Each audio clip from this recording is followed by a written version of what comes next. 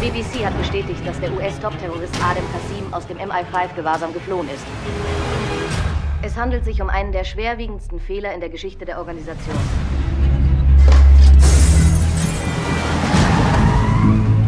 Einsteigen.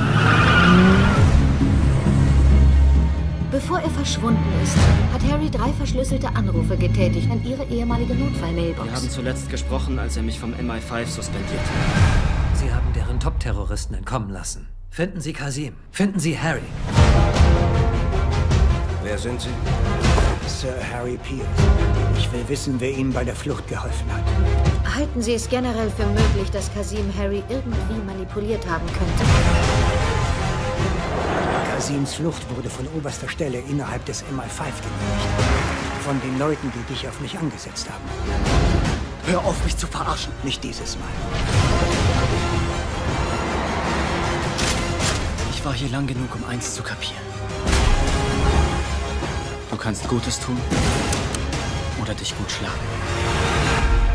Früher oder später muss man entscheiden.